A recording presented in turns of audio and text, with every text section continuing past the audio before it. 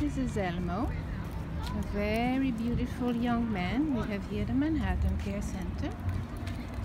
As you can see, he is walking here uh, in the park, uh, smelling everything, looking at birds and squirrels, nearing other dogs.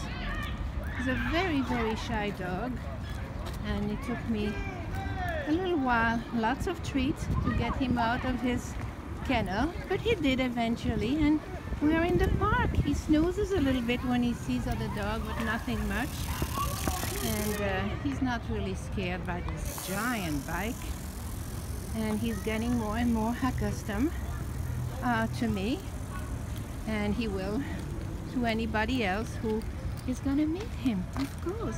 He just needs to trust. He's a little shy and that's gonna get all better in a day or two and he will be ready for adoption right? Ready for adoption and to move into your home. Elmo.